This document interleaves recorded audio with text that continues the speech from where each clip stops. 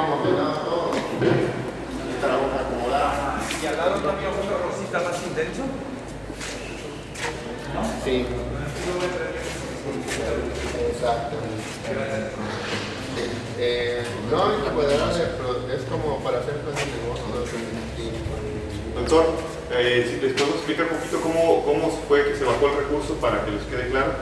Fue a través del grupo de productores y luego se hizo la gestión a Zagarpa y así. Bueno, primero había el interés pues del, del grupo de productores, sí hay una instancia de Zagarpa eh, que se llama la Coordinadora Nacional de las Fundaciones Produce, que está ahí en México. Aquí hay una fundación Produce en, en Jalisco, pero tiene, pues ya está muy hecha su trabajo, pues. Normalmente las demandas que, que están en cola ahí tienen uno o dos años esperando para, para poder pasar y trabajan mucho entre el mismo gobierno, con INIFAB y con otras con otras instancias. Entonces nosotros nos fuimos a buscar el recurso a la coordinadora de México a través de un componente que sale en las reglas de operación que se llama recursos genéticos.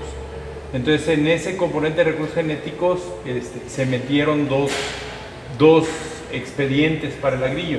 Uno, el de la parte de, que se está haciendo aquí con el doctor y en el, y en el centro médico, que es toda la parte de análisis y eh, se llama caracterización y uso sustentable.